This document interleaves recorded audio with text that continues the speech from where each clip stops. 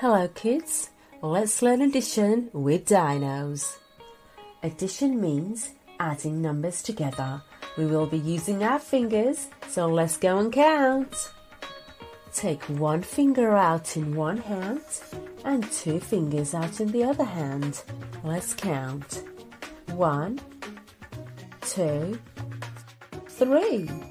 We have three in total. One add two equals 3. Take three fingers out in one hand and three fingers out in the other hand. Let's count. One, two, three, four, five, six.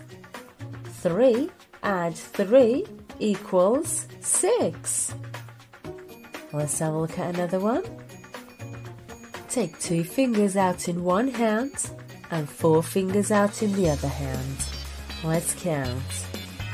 One, two, three, four, five, six.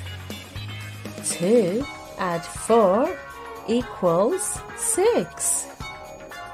Let's take four fingers out in one hand and five fingers out in the other hand. So we have one, two,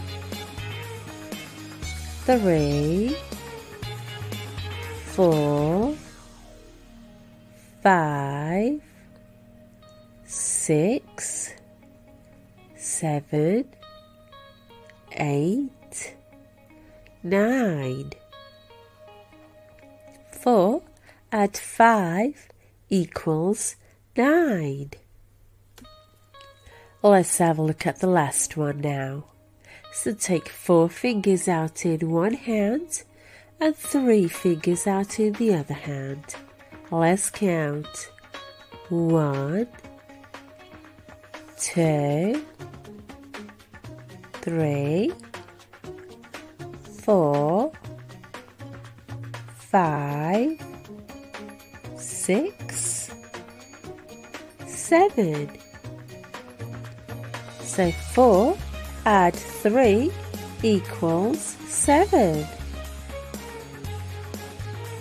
We have learned today that we can do simple addition using our fingers. That was great!